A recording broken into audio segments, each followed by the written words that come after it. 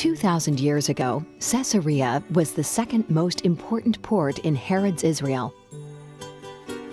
Sophisticated Roman construction techniques produced a system of concrete piers that welcomed ships from around the world. The port city was a marketplace for ideas as well as commercial products. It was one of the principal centers from which word of a new religion reached the world. Today, all that remains of Caesarea is a handful of ruined wharfs where intrepid fishermen tie their boats and cast their rods.